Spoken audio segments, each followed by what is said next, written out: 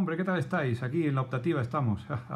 bueno, si... A ver, quiero que penséis un poco eh, eh, una frase que, que, defina lo que, habéis, lo que estáis aprendiendo en la optativa.